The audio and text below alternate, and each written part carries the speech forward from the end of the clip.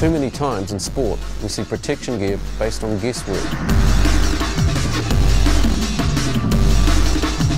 We really wanted to make a chest guard that works. So we decided to turn to science.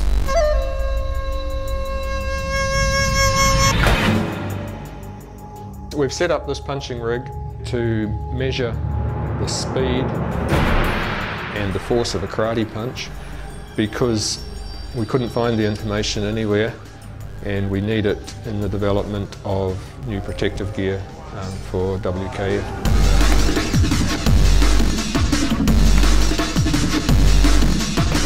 Once we know these forces, we can then set up the lab to replicate them.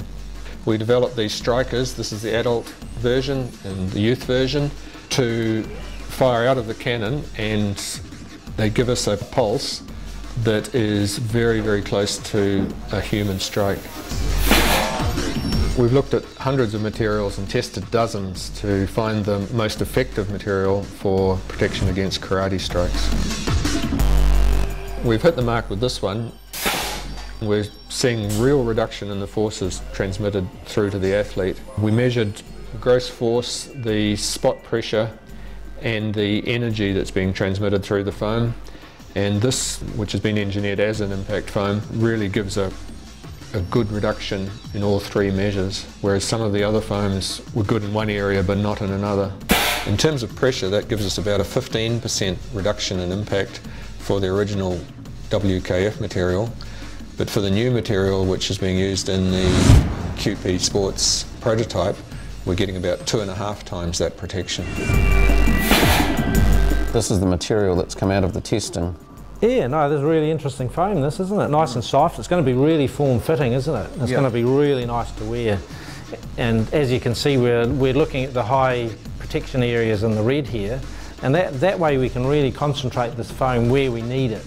Yeah, I see you've um, put, put more protection over the heart areas, the kidney, the diaphragm and the groin, and that's where the karate guys were telling us um, are the most vulnerable areas for them. Yeah. So that makes a lot of sense, Rob. Yep, and all the other areas will be less much less foam, if there's any foam at all, and, and thus making it a really light product. So the guys just won't know they're wearing it.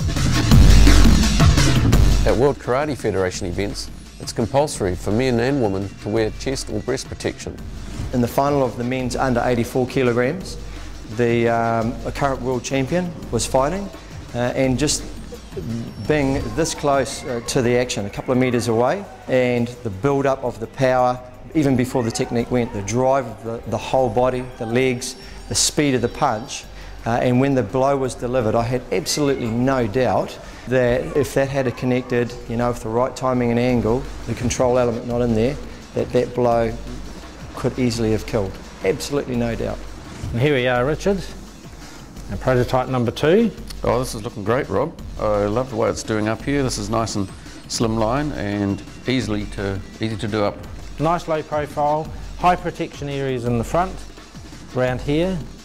Very low profile belt around the back here. No buckles, no hard plastic, nothing to hurt or transfer.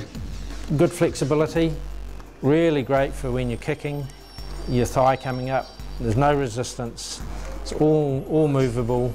The athlete won't even know he's wearing this. It'll be so nice and light and cool no obstruction to the gi, so the gi will just slip over the top of this as if it was over their body. With help from our scientists and designers, we've created a chest guard from multiple density foams that protects the vital organs but doesn't restrict movement. Most importantly, the key to us was not to modify the behaviour of karate as a sport or martial art. I wouldn't like to see an item that would change and prohibit the mover, moving and the flexibility of, of a, a, contestant because that would restrict them in their, their free form. A few years ago when they didn't have Shinin, Shinin uh, instep protectors, the contestants, you know, if, if they kicked wrong or were in the wrong target area, then they would actually result in an injury themselves. Now with that protection on their feet, people are actually kicking a lot harder because there's no risk for them getting injured. So that then gives uh, the possibility of stronger injuries around the back, around the front and the rib area, um, which is uh, can cause serious injuries. And, that, and sometimes you don't initially see it, but the injury can be actually internal, and you only hear about it after the event.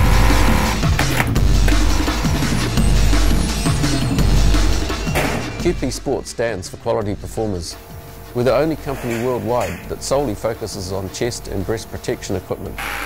In fact, we lead the way in impact protection research in sports and breast protection.